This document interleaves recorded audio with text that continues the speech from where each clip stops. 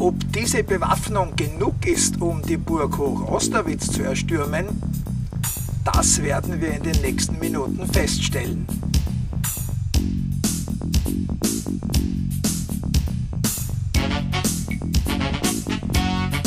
Wenn ich mir diese steile Strecke hier so ansehe, da braucht man einen Lift, um hochzukommen. Und zwar ziemlich hoch hochzukommen. Und das hatten die Leute natürlich im Mittelalter nicht zur Verfügung. Also wurde diese Burg nie eingenommen von Feinden.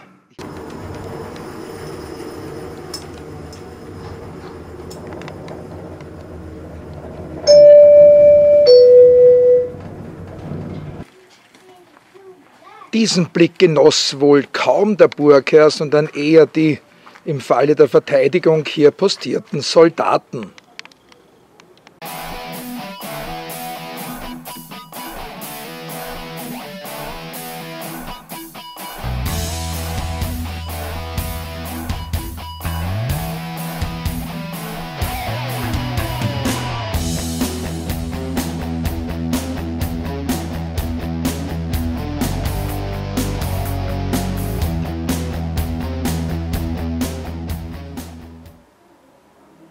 Waffen und Harnische, also die Rüstungen der Ritter, wurden hier in der Burgschmiede hergestellt. Und noch ein traumhafter Ausblick von der Burg Hoch-Osterwitz weit ins Kärntner Land. Ich steige jetzt gerade die Treppen zu einem der Wehrgänge hoch und schon wieder diese wunderbare Aussicht. Die Burgkapelle ist, wie unschwer zu erkennen ist, dem heiligen Nikolaus geweiht und sieht innen drinnen dann so aus.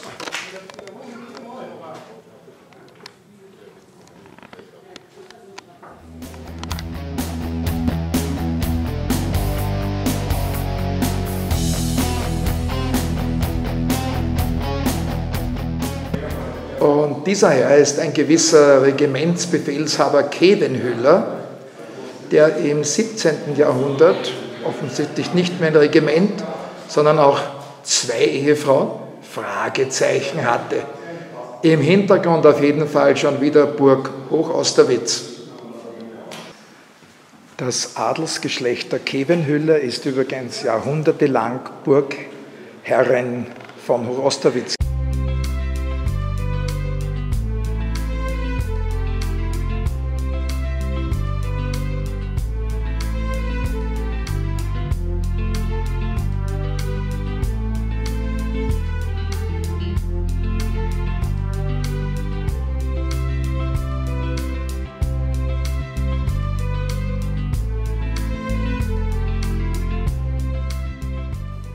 Die Dynastie der Kevenhöhler stand natürlich auch unter anderem mit Prinz Eugen von Savoyen in Kontakt.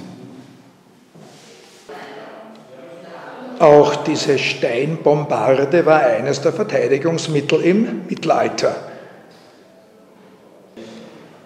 Musketen, Pulverbehälter und Helme aus dem Mittelalter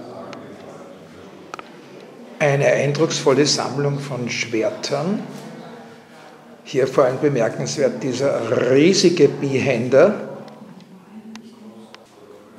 Auch im Mittelalter gab es bereits Riesen, so wie diesen Burghauptmann Schenk, stolze 2,25 Meter.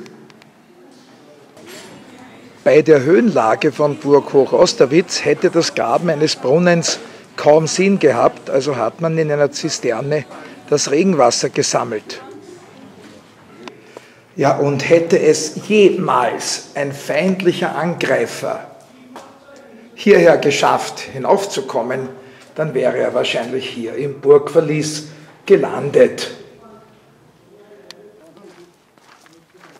Es war wohl für alle Angreifer das allerhöchste der Gefühle, diese Teile der Burg nur aus der Entfernung zu Gesicht zu bekommen. Der bewohnte Teil der Burg Hoch-Osterwitz ist jetzt nicht unbedingt riesengroß. Aber umso umfangreicher sind die Befestigungsanlagen. Ja, und diese Befestigungsanlagen werde ich jetzt mal von oben nach unten durchgehen, statt von unten nach oben, denn das haben die Angreifer ja früher auch nicht geschafft.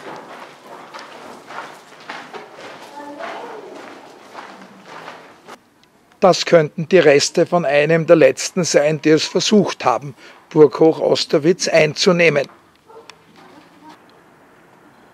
Ein herrliches Rundum-Panorama von Oberkärnten, könnte man fast sagen, von der Burg Hoch Osterwitz aus.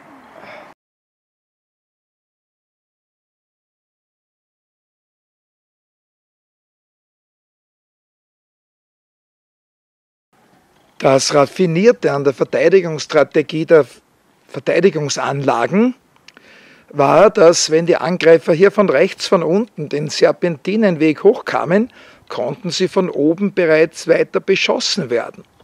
Also es war wirklich unmöglich, Hoch Osterwitz einzunehmen. Und so weit zu kommen, die Burg aus dieser Nähe zu sehen, das gelang auch schon kaum einem Angreifer. Zusätzlich erschwert wurde das Ganze natürlich noch durch die Zugbrücken bei den einzelnen Toren. Und hier schon das nächste Tor. Diese Kirche auf der Burg Hoch Osterwitz war natürlich durch diese Befestigungsanlagen perfekt geschützt. Hier nochmal das Verteidigungsprinzip. Auf diesem Weg waren die Verteidiger im Turm natürlich auch. Im Turm darunter ebenfalls. Also selbst wenn jetzt Angreifer hier diesen Weg gekommen wären, sie wären mörderisch unter Beschuss gekommen.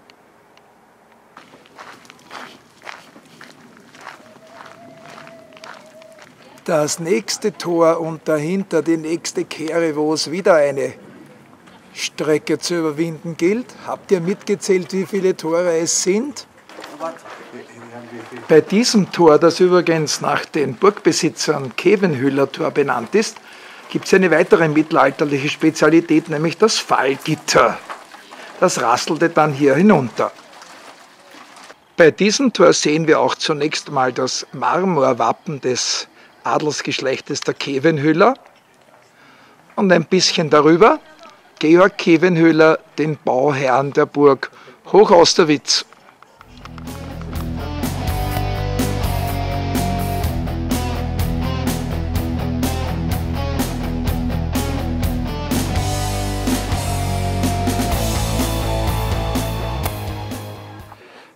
schön langsam nähern wir uns dem Ende, beziehungsweise aus Sicht der Belagerer dem Beginn der Verteidigungsanlagen. Durch diese hohle Gasse mussten sie kommen, auch wenn dieser Satz natürlich aus dem Wilhelm Tell stammt von Friedrich Schiller und nicht direkt von der Burg Hochosterwitz. Und hier beim ersten Tor endet mein Abstieg und begann im Falle eines Belagerungsversuches derjenige der Angreifer. Sieht von außen sehr bunt und einladend aus. Naja, für die Feinde war es wohl dann nicht so einladend. Und mit dem Käfenhüllerschen Familienwappen verabschiede ich mich jetzt von der Burg Hoch Osterwitz und ab nach Hause. Música